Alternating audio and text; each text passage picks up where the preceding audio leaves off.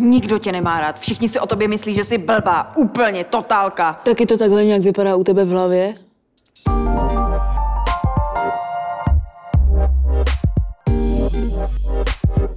Nikdo na světě se necítí skvěle každý den. Možná ale nevíš, jak s těma špatnýma emocema naložit. Prožívat emoce je v pořádku, rozhodně je to zdravější, než to v sobě dusit. Každý svoje problémy a myšlenky zpracováváme jinak. Každopádně mám pro tebe jeden malý trik, co by ti mohl pomoct. Když ve své hlavě uslyšíš, ty jsi úplný loser, tohle to byl totální fuck up. Zkus k sobě mluvit, jako bys mluvil na dobrýho kámoše. No co, tak se stala jedna věc, to nevadí, se z toho poučíme.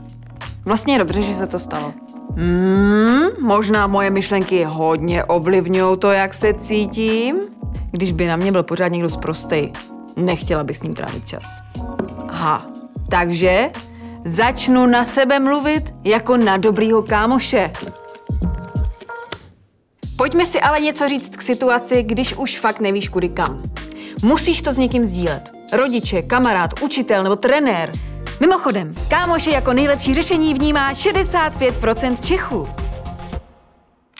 Nemůžeš ale spoléhat na to, že ti blízcí budou trpělivě naslouchat a dokážou ti dobře poradit. Druhým mimochodem, o procento za kámošem se v soutěži o nejpsychologa umístil pobyt v přírodě. 64%. Pojďme dál. Blízcí ani objímání stromu nezafungovali. Zkus to ve škole.